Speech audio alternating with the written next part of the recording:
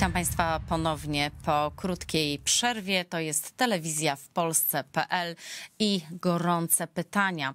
A pytamy tym razem, kiedy niemieckie leopardy otrzyma walcząca z wrogiem Ukraina. Naszym gościem e, jest e, generał Waldemar Skrzypczak, były dowódca wojsk lądowych.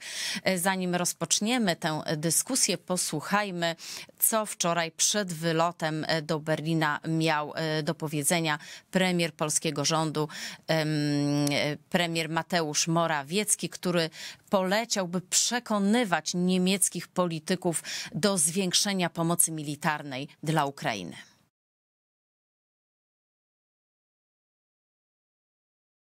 Ukraina potrzebuje dzisiaj nowoczesnych czołgów.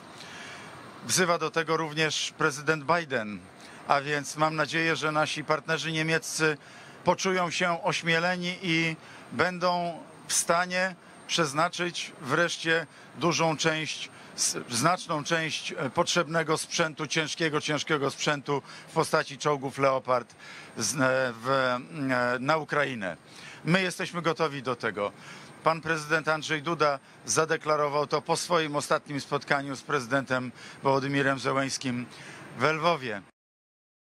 Panie generale, mm, co uda się załatwić z Niemcami? Jakie ilości sprzętu, y, który mm, dawałby szanse, realne szanse y, podjąć y, walkę Ukraińcom, a nie tylko tak jak po kroplówce, tak, bronić się przed atakiem rosyjskich wojsk? Do tej pory to, co dostaje Ukraina Zachodu, nie jest odpowiedzią na zapotrzebowanie Ukrainy.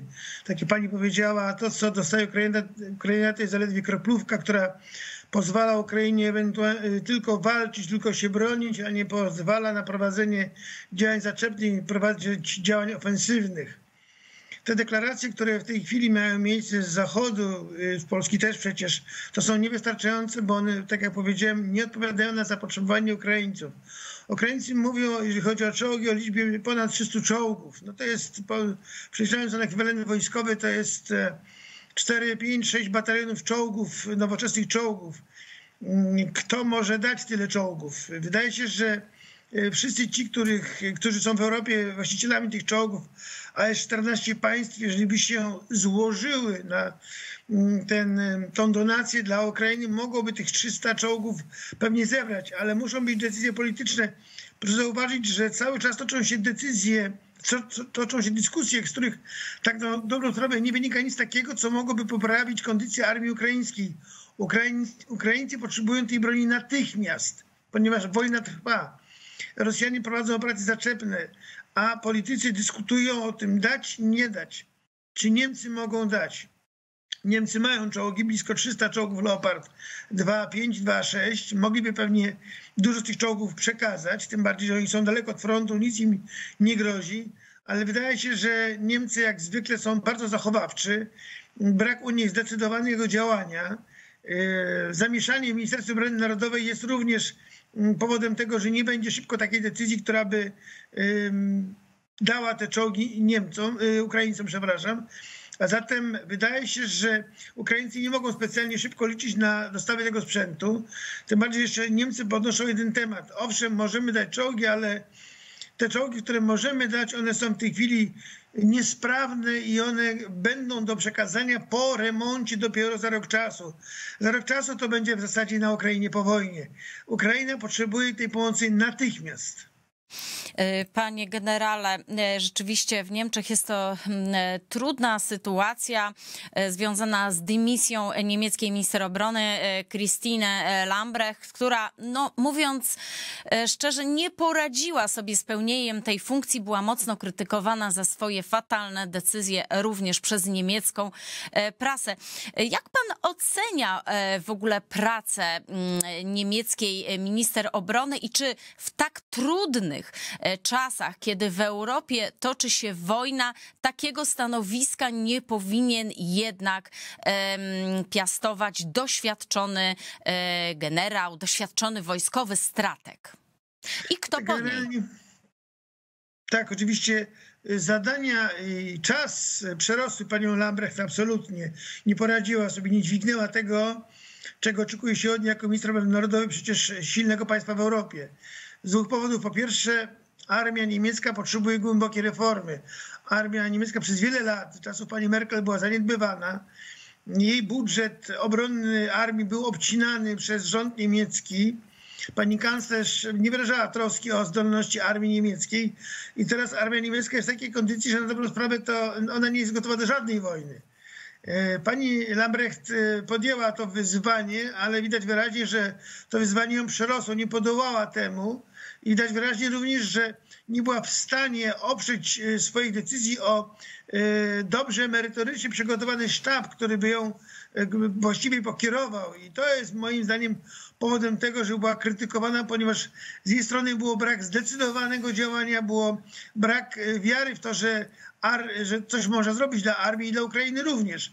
E, pamiętamy tą kompromitującą jej decyzję o przekazaniu 5 tysięcy hełmów na Ukrainę, które, które e, Niemcy chcieli przekazać w ramach pomocy militarnej, co wzbudziło no nie tylko e, no w zasadzie śmiech w całej Europie. W związku z tym świadczy to o tym, że pani Lambrecht nie była tą osobą, która mogłaby piastować tak odpowiedzialne stanowisko w Niemczech. E, panie generale, e, ostatnia tragedia e, związana z atakiem na ludność cywilną w miejscowości Dniepr na Ukrainie, gdzie zginęło ponad 40 cywilów, dowodzi, że rzeczywiście Ukraina nie dysponuje sprzętem, który pozwoliłby na obronę. Który z krajów mógłby wspomóc realnie mm, tutaj walczącą Ukrainę, żeby mogła się realnie bronić, a nawet tak jak pan powiedział, stosować jakąś ofensywę wo wobec atakujących wojsk rosyjskich? Znaczy generalnie moim zdaniem e, systemy obrony powietrznej, które mają Ukraińcy są e, bardzo dobrymi systemami. Mają w zasadzie wszystkie najnowocześniejsze systemy, które mm, są zdolne do zwalczania e, rakiet rosyjskich różnego typu, samolotów i rakiet rosyjskich różnego typu. Dlaczego ta rakieta mm, uderzyła w Dnipro, moim zdaniem coś musiało zawieść i, i Ukraińcy sami nie potrafią wyjaśnić sobie tego, jak do tego doszło, że ta rakieta nie została wykryta. Tym bardziej, że na dobrą sprawę amerykańskie rozpoznanie satelitarne identyfikuje miejsce wystrzelenia e, pocisków rakietowych w Ukrainie i Ukraini, Ukraińcy mają możliwość przechwycenia praktycznie każdej rakiety, która wlatuje w przestrzeń powietrzną Ukrainy, a nawet i wcześniej jeszcze w przestrzeni powietrznej Rosji. Dlaczego ta rakieta nie została strącona? Chyba długo tego nie będziemy wiedzieli, ponieważ Ukraińcy też nie są w stanie tego wyjaśnić, ale moim zdaniem zawiodły systemy, które powinny tą rakietę odpowiednio wykryć i naprowadzić rakietę do jej zwalczania i ją zniszczyć. E, zobaczymy niebawem. Natomiast moim zdaniem e, obronę ukraińską trzeba jeszcze bardziej, tą przeciwlotniczą, powietrzną, trzeba bardziej zagęścić jeszcze ale głównie trzeba dać możliwość Ukraińcom wykonywania uderzeń głębokich, czyli danie to, czego pani wspomniała, broni ofensywnych, które pozwolą Ukraińcom niszczyć takie samoloty, y, które, te bombowce strategiczne, które są nosicielami tych niebezpiecznych rakiet, bo one są przecież wystrzeliwane z przestrzeni powietrznej Rosji. E, zatem trzeba te samoloty niszczyć w, w bazach ich stacjonowania czy na lotniskach które znajdują się między 700 a 1200 kilometrów od e, granicy z Ukrainą. Więc Ukrainie są potrzebne takie systemy rażenia, które by wykonywały uderzenia na te lotniska, gdzie bazują samoloty strategiczne. E, panie generale, mm, to jest jasne, że rzeczywiście no, armia ukraińska nie jest e, właściwie doposażona, a jak e, swoją amunicję i arsenał uzupełnia strona rosyjska, jak pan to ocenia?